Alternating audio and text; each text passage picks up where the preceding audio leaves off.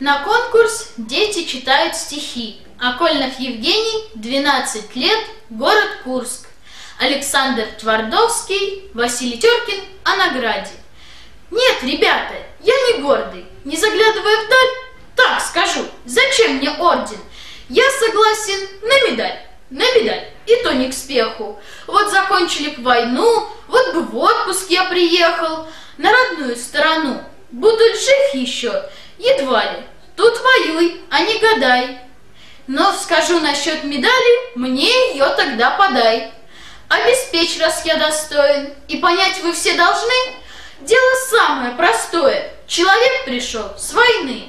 Вот пришел я с полустанка, в свой родимый сельсовет. Я пришел, а тут гулянка. Нет гулянки, ладно, нет. Я в другой колхоз и в третий. Вся округа на виду. Где-нибудь я в сельсовете на гулянку попаду.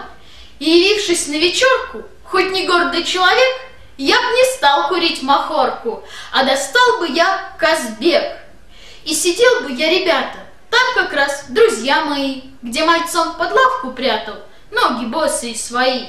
И дымил бы папиросы, угощал бы всех вокруг, и на всякие вопросы отвечал бы я не вдруг. Как, мол, что, бывало всяко, трудно все же, как когда, много раз ходил в атаку. Да, случалось иногда. И девчонки на вечерке позабыли всех ребят, только вслушали девчонки, как ремни на мне скрипят. И шутил бы я со всеми, и была б меж них одна. И медаль на это время мне, друзья, вот так нужна. Ждет девчонка, хоть не мучай слова, взгляда твоего. Но позволь, на этот случай орден тоже ничего. Вот сидишь ты на вечерке, и девчонка, самый цвет.